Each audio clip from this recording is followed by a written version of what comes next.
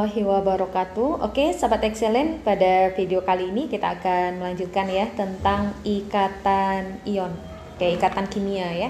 Jadi ikatan kimia itu ada yang kita kenal dengan ikatan ion dan nanti ada juga ikatan kovalen. Nah, pada video kali ini kita akan e, membahas tentang ikatan ion. Nah, ikatan ion itu adalah oke, kita tulis dulu ya. Ikatan ion itu adalah e, ikatan ikatan yang terjadi ya ikatan yang terjadi akibat adanya serah terima elektron. Oke serah terima elektron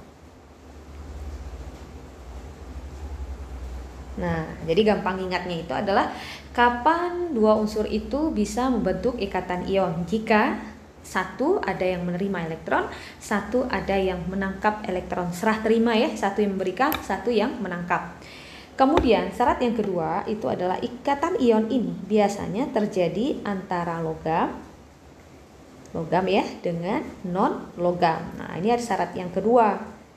Kalau dia sama-sama logam, tentu saja tidak bisa membentuk ikatan ion atau dia sama-sama non logam ya, tidak juga tidak bisa juga membentuk ikatan ion karena syaratnya itu adalah kalau unsur satunya logam berarti yang keduanya adalah unsur non non logam ya.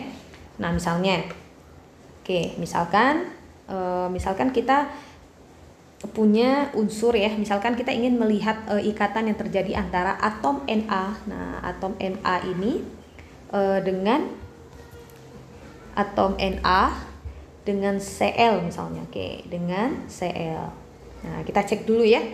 Na ini adalah logam karena dia termasuk dalam golongan 1A. Sedangkan Cl ini adalah golongan non non logam. Nah, karena dia masuk dalam golongan halogen ya, golongan 7A. Oke, sekarang nah ini kan sudah syarat yang kedua udah dipenuhi ya logam dan non logam. Nah syarat yang pertama tadi harus ada satu yang menerima elektron, satu yang e, menang, melepas elektron. Nah jadi kita harus melihatnya gimana ya? Kita harus konfigurasikan terlebih dahulu Na dengan nomor atomnya 11. Kalau kita konfigurasikan dia akan menjadi 2 8 1 ya kan 281. Kalau Cl Cl berarti 17 ya. Berarti 2 8 itu 7 Oke, saya ingatkan lagi bagi kalian yang baru bergabung dan bingung ya kok kenapa konfigurasinya bisa seperti ini. Nah, ini adalah konfigurasi berdasarkan kulit atom. Kalian bisa cek pada video yang sebelumnya. Nah, itu linknya sudah saya letakkan di deskripsi di bawah ya. Kalian bisa langsung klik dan kalian bisa tonton video videonya ya bagaimana cara mengkonfigurasikan elektron berdasarkan kulit atom. Oke. Sekarang kita dapatkan elektron valensinya itu adalah satu Sedangkan sel ini elektron valensinya itu adalah 7. Nah, kalian ingat lagi pada video yang sebelumnya saya sudah pernah bahas ya, kapan uh, unsur atau atom itu melepaskan elektron, kapan dia menangkap elektron. Kalau elektron valensinya kecil dari 4, nah oke, okay, kalian masih ingat ya, kalau dia kecil dari 4, nah itu sudah pasti dia melepas, dia melepaskan eh elektron.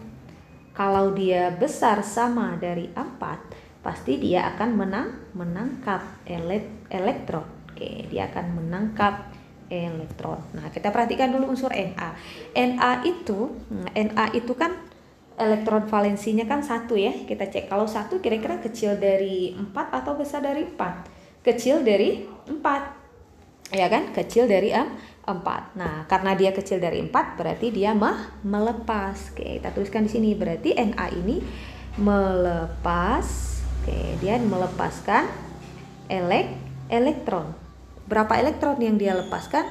Sa satu. Berarti dia harus melepaskan satu elektron. Nah, gitu.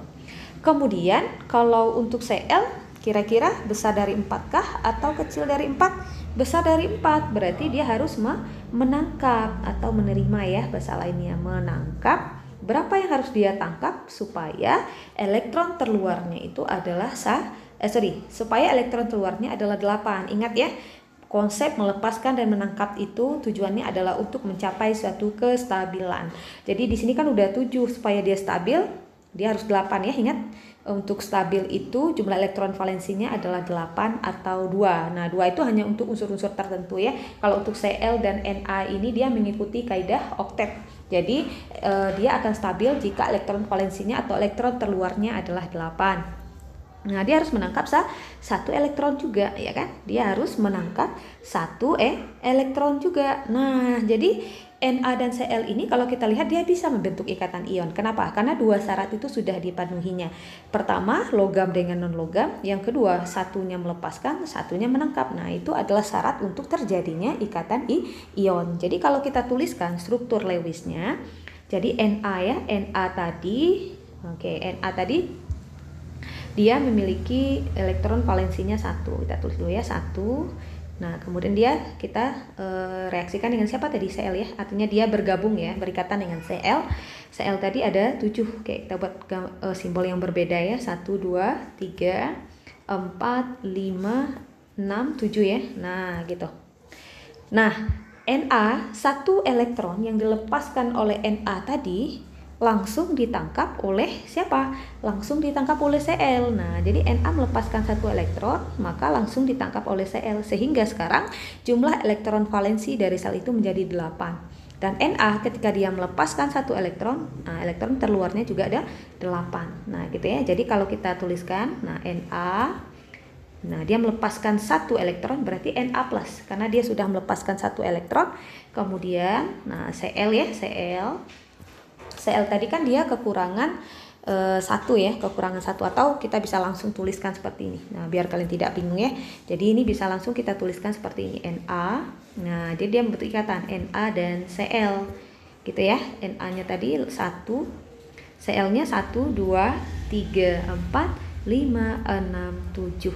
Nah, yang di sinilah yang kita sebut dengan ikatan i ion. Nah, ikatan ion. Jadi si Na melepaskan atau si Na memberikan, si Cl-nya menerima. Nah, itu itu adalah ciri-ciri dari ikatan i ikatan ion. Nah, bagaimana sahabat excellent? Uh, paham ya kira-kira untuk ikatan ion. Nah, sekarang kita lihat lagi untuk contoh yang kedua ya. Contoh yang kedua itu adalah kita ingin melihat ikatan antara unsur Mg dan Cl. Oke, kita lihat untuk unsur Mg dan Cl. Oke, uh, berikutnya kita lihat untuk uh, ikatan ya. Kita ingin melihat ikatan yang terjadi antara atom Mg dan Cl. Jadi Mg itu adalah magnesium, dia golongan 2A eh, ya, golongan 2A berarti dia masuk dalam unsur logam. Sedangkan sel itu adalah golongan 7A, berarti dia golongan non logam. Nah, syarat yang kedua dipenuhinya. Ingat, syarat eh, terjadinya ikatan ion itu adalah logam dan non logam. Nah, ini syarat, syarat untuk yang keduanya sudah dipenuhi. Kita cek untuk syarat yang keduanya.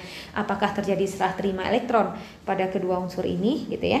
Oke, kita konfigurasikan terlebih dahulu untuk Mg 2 gitu ya 8 2 8 2 Oke, 2 untuk Cl ya, 8, 7. Oke, saya ingatkan lagi untuk konfigurasi elektron berdasarkan kulit atom ya. Kalian bisa cek pada video yang saya sebelumnya atau bisa langsung uh, klik deskripsi di bawah, langsung klik linknya.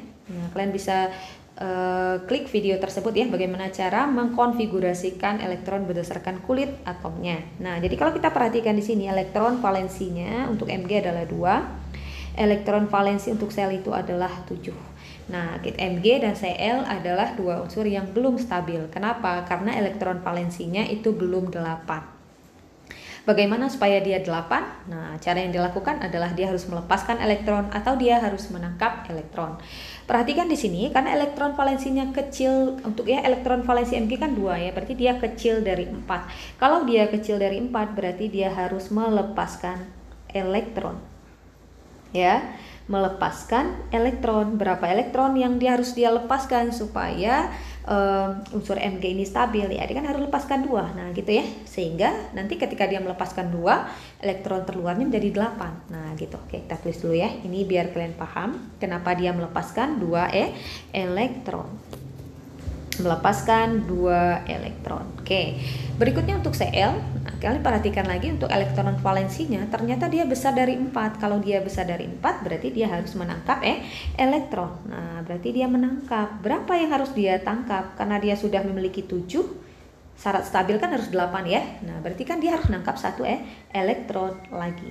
Nah, seperti itu. Jadi kalau kita gambarkan struktur Lewisnya, Mg, ah, oke sebelumnya apakah syarat kedua pertamanya dipenuhi? Dipenuhi karena satu melepaskan, satu menangkap karena itu adalah syarat dari ikatan ion tadi.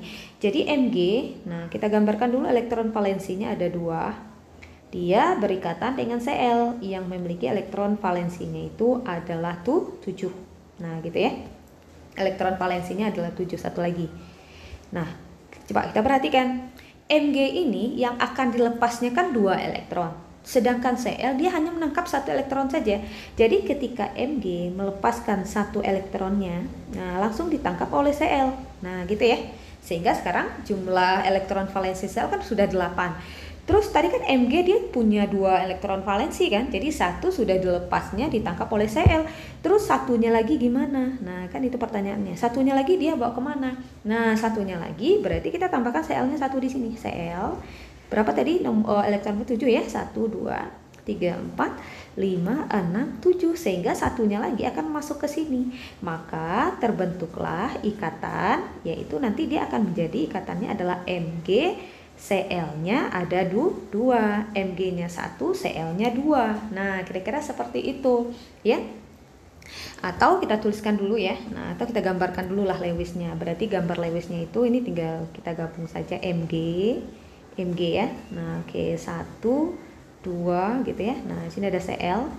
Selnya 1 2 3 4 5 6. Nah, 7 kelihatan ya. Cl yang satu lagi 1 2 3 4 5 6 7. Nah, kelihatan ya selnya sudah 8. Atau boleh juga kita tuliskan seperti ini.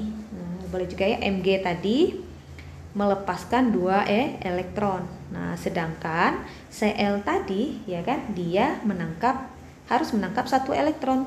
Tadi kan kalau Cl-nya cuma satu kan nggak bisa karena satu elektron lagi mau dilepaskan ke mana sehingga Cl-nya harus kita tambah satu lagi sehingga Cl-nya menjadi du, dua dua Cl min maka terbentuklah Mg Cl 2 jadi Mg-nya satu nah Mg-nya satu ya Cl-nya ada du, dua Nah, selnya ada dua, maka uh, ikatan yang bisa terbentuk antara Mg dan Cl itu adalah ikatan ion dengan rumus ya rumus nyawanya ya yaitu MgCl2.